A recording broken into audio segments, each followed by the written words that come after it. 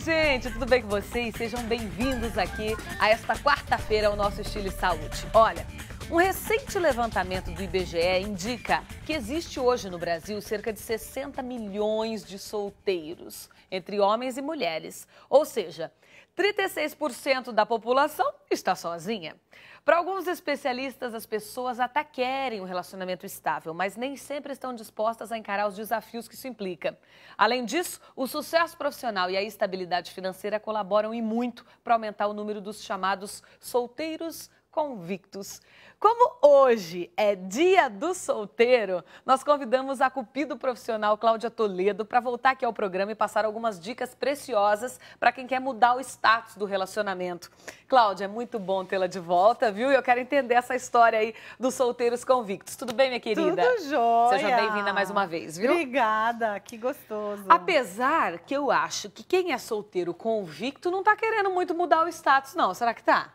Eu acho que essa história de solteiro convicto é uma proteção que a pessoa arruma É. porque ainda não encontrou aquela pessoa especial, aquela sua alma gêmea mesmo. Mas se você perguntar para todo mundo, você gostaria de encontrar, de viver um grande amor? Ah, todo mundo quer, viu, Amanda? Então, quer viver um grande amor. Isso aí tudo bem, né? Vive um grande amor, uma paixão avassaladora e depois, tchau, cada um vai para um lado. Agora, se amarrar para o resto da vida é- é- implica mais coisas aí, né? Oh, muitas coisas. Eu digo que o relacionamento, para que ele realmente crie base e cresça em direção a uma vida longa, um tempo maior, é preciso que ele comece, sim, da presença física, da atração física, da atração sexual, é importante também, mas que essa atração sexual, que ela se consume depois que haja realmente um reconhecimento do outro enquanto pessoa. Por exemplo, uma moça vê que um cara está querendo com ela alguma coisa sexual mais forte, antes dela deixar isso acontecer, seria melhor que ela percebesse antes que o rapaz já mandou flores, já está delicado com ela, já está bem apaixonado, já sente falta, para daí realmente chegar num relacionamento sexual. Porque quando a mulher cede para o homem antes de haver um reconhecimento dela, é difícil que esse relacionamento tenha força para chegar num casamento. É isso que a gente percebe. Agora, eu percebo também, a gente falou, 36% da população solteira é muito grande, né? É, um- É é um número bastante, bastante é, grande, é né? bastante. Será que isso é uma tendência mundial ou é uma pesquisa mais voltada ao Brasil? É uma tendência mundial. No último cruzeiro dos matchmakers, né, dos cupidos profissionais internacional, eu era a única brasileira presente lá. Mas esse número de solteiros vem crescendo no mundo todo. Inclusive, essa tendência da mulher casar mais tarde, né? Antigamente as mulheres casavam com uma média de 24 anos. Depois foi para 25, 26, agora está na média 27, 28 no Brasil já. Só que, por exemplo, na Europa já está mais para 29 anos. Por quê?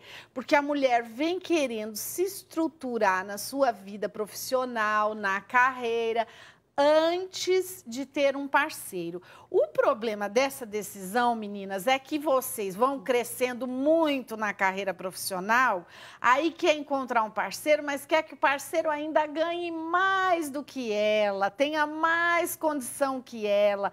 Aí fica difícil encontrar o parceiro, porque historicamente a carreira da mulher, em geral, ela é de altos e baixos.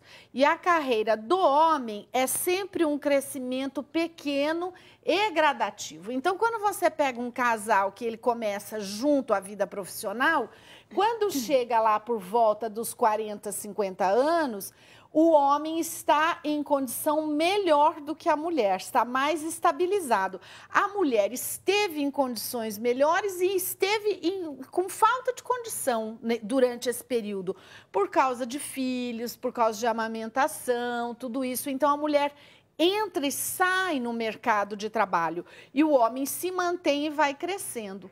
Aí o que acontece, por exemplo, muitas moças jovens, elas vêm as moças de 25, 30 anos, elas veem um rapaz de 45 fala: "Ah, é melhor eu ter esse rapaz de 45 porque ele já está estabilizado" natural, com essa idade ele já está estabilizado. Agora, se for um moço bom de 30, 35, ele também vai estar estabilizado lá, principalmente se tiver um ambiente familiar, uma esposa ao lado, mais certeza ainda. Então, isso é uma questão de tempo, né, Amanda? É claro. uma questão de tempo. Ô, Cláudia, mas por que, que você acha que as pessoas. Eu te digo por experiência própria, porque eu tenho muitas amigas que estão. É, mas que estão curtindo essa fase. Então, assim, a gente está solteiro, por exemplo, e a mulher é, até muito mais velha, como diz você. Hoje a mulher com 30 até 35 anos consegue ficar solteira e tá feliz de estar tá assim. E o homem também. Quantos amigos que falam assim para mim, ai, Amanda, pelo amor de Deus, eu vou continuar solteiro muito tempo, e que não sei o que lá, porque eu não troco essa vida. Por quê? As pessoas todas, o homem e a mulher, hoje eu não faço discriminação nesse sentido. Quem assume, quem é convicto, que quer. Eles têm dinheiro, tem eh, para fazer o que quiser, pode viajar para qualquer lugar que quiser, pode sair com quem quiser, pode fazer o que quiser, não falta opção e oportunidade. Então, para você largar essa liberdade, essa, essa coisa boa toda que implica aí na vida de solteiro, para se amarrar alguém, alguém que muitas vezes tem menos oportunidades que você, que não gosta de te acompanhar, que não tem uma cabeça parecida com a tua, que começa a te brecar, nananana para você passar de, desse estágio é muito complicado. Você prefere ficar solteiro. É, mas você sabe uma coisa que as pessoas não contam? Elas não contam que esta vida não é que você vai deixar esta vida. Esta vida vai deixar você. Esta vida, ela aceita o jovem. A pessoa, conforme vai a vida vai, a pessoa vai passando de idade, de fase, ela vai entrando com 40 anos, 38, 36, ela nem está mais afim desse agito, dessa coisa, dessa, eh, desse barulho, dessa bagunça. Então, aí está na hora dia... dela quietar, arrumar então, alguém quietar. Mas aí é o perigo, né? As mulheres estão chegando a essa conclusão quando o valor delas no mercado já passou. Eu fico quase louca, né? Porque eu sou cupido profissional, eu falo, olha, minha querida, você teve a onda alta dos relacionamentos que todos os homens te queriam, 22, 24 anos. Você não casou. Depois você teve uma outra onda alta lá, 25, 27 anos, que todos os homens queriam você, você não casou. Depois você teve de novo uma outra onda alta, 29 a 31, você não casou. Agora você chega para mim aqui com 33, com esse monte de exigência. Essas exigências você já perdeu lá com 24, 25. Agora nós vamos trabalhar com o que existe. Para o momento, não é mais o que você quer. O que você quer, você queria lá, lá para trás, ficou para trás. Agora a condição é outra. Veja, porque junto com você que não casou nos 24 anos, os rapazes da sua faixa bons já foram. Depois, nos 26, os rapazes bons da sua faixa também já foram.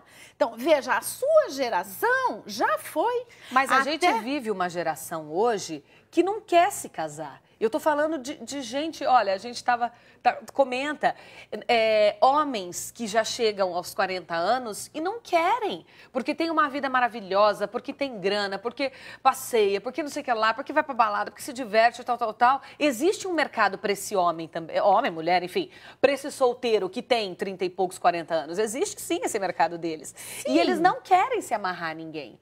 Mas os homens, Amanda, o que, que vai acontecendo com os homens? Os homens vão chegando em 35, eles baixam a faixa etária da mulher para 30.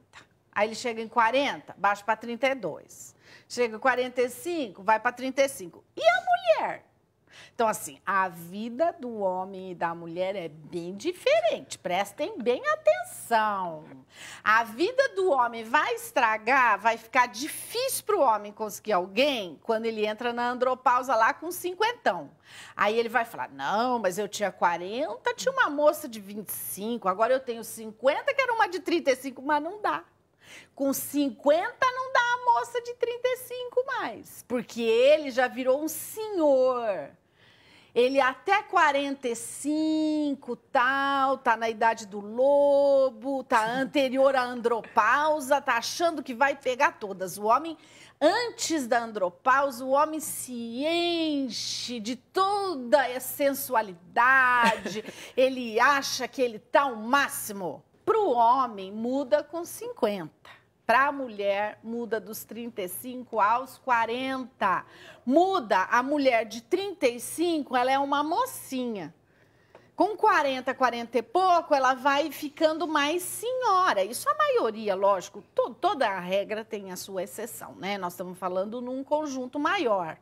Mas é super importante que as pessoas entendam que, na verdade, o encontro com uma pessoa, com a sua cara metade, com a sua alma gêmea, traz o que para você? O que, por que, que é bom casar?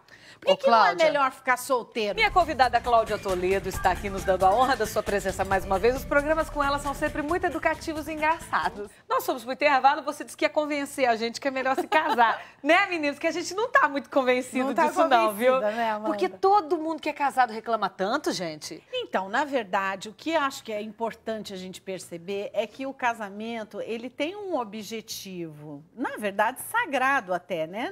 Da união entre o polo masculino e o feminino, que dispara a vida.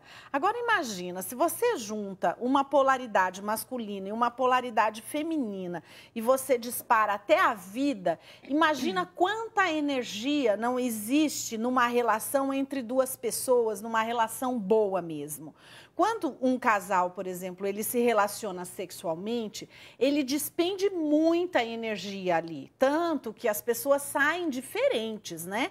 Quando a gente tem um orgasmo, a gente sobe por dentro do canal, sai do nosso corpo e volta renascido. O orgasmo é como um ensaio para a morte, uma renovação, como se você fosse lá em cima, encontrasse o Criador e voltasse. Então, faz parte, faz parte da nossa vida essa oportunidade, né, de estarmos com alguém e nos relacionarmos sexualmente. É, é, é como um, um reset. Como se você desse um reset num aparelho, por exemplo, você liga um computador, ele está funcionando, funcionando, funcionando loucamente, né? Hum. Chega uma hora você tem que desligar para depois ligar de novo. Sim. É isso que é o orgasmo. Por isso que é tão importante para a pessoa, ela ter a vida sexual faz parte da saúde da pessoa. O Agora... sexo deveria ser semanal. Agora, na verdade, Amanda, o importante é que a gente entenda que o relacionamento entre um homem e uma mulher, ele só faz sentido se for para um crescimento mútuo. Aí ele faz muito sentido, porque o, o, casal, por exemplo, ele pode pegar essa energia que é gerada no ato sexual, essa energia da união que dispara uma vida, essa união pode disparar muitas coisas. Então, por exemplo, um casal, ele pode conquistar uma prosperidade grande, uma família maravilhosa, grande saúde. Por isso que existe o sexo curativo. Através do relacionamento sexual, a gente pode trazer muita prosperidade para o casal. E pode ser qualquer tipo de prosperidade. Pode ser a prosperidade financeira, pode ser de saúde, pode ser vários tipos. Então, o objetivo do casamento é o crescimento dos dois. O que acontece com os relacionamentos continuados? Então, a pessoa transa com uma pessoa hoje transa com outra pessoa outro dia, transa com outra pessoa outro dia. O que, que acontece? Ela fica superficial, ela não se aprofunda. Então, se você tem os sete níveis de relacionamento, você tem as sete consciências, os sete estados de consciência. Se você fica trocando o parceiro, você sempre fica nessa possibilidade de se relacionar mais superficialmente. Só conta pra gente esses sete níveis, só Físico, sexual, econômico, emocional, social, mental e espiritual. Por exemplo, imagina que é possível você transar com uma pessoa a primeira vez e chegar no nível espiritual? Ah, não chega a nada. Só chega no físico, no sexual.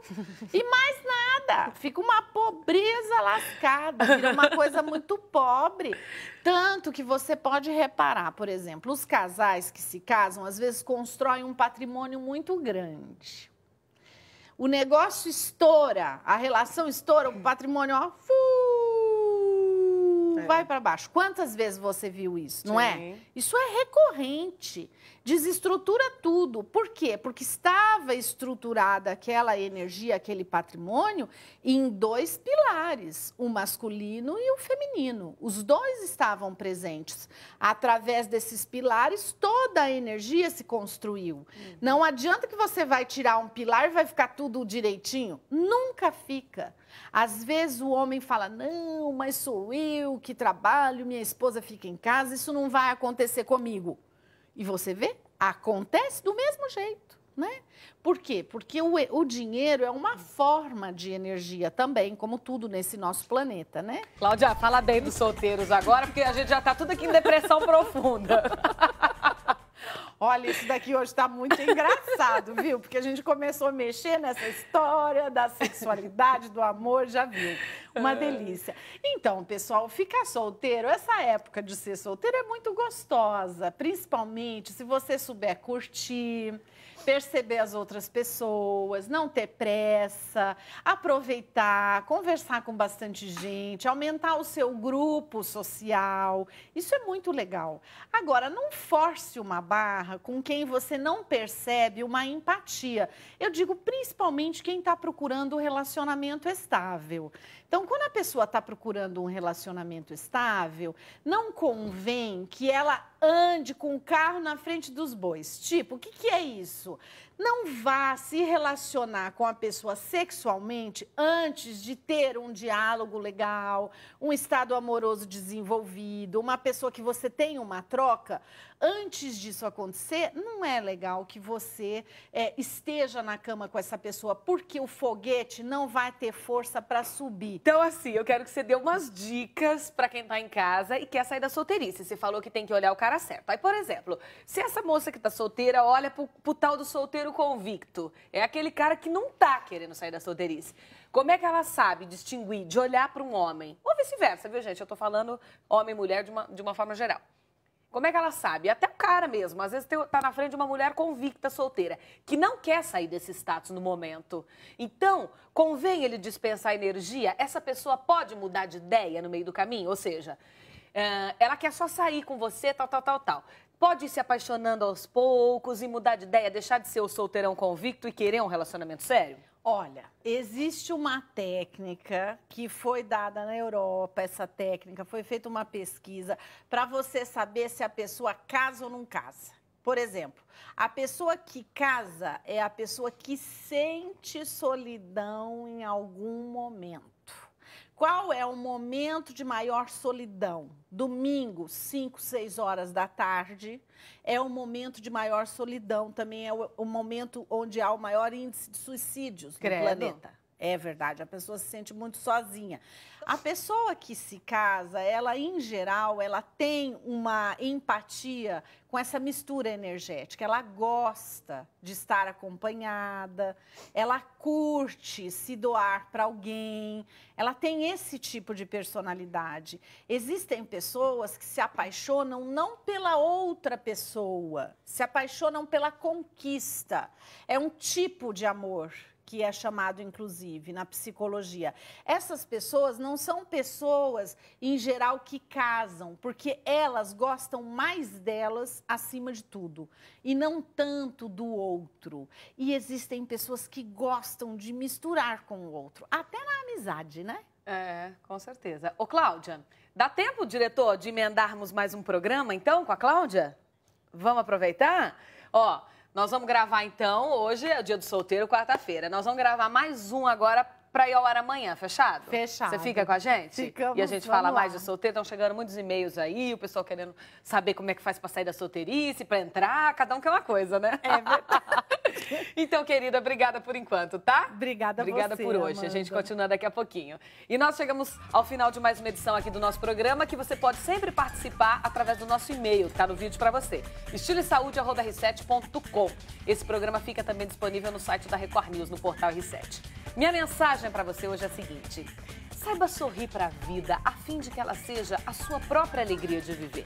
A partir daí, a felicidade estará permanentemente ao seu lado. Obrigada pela companhia mais uma vez. Record News, jornalismo 24 horas de plantão. Tchau.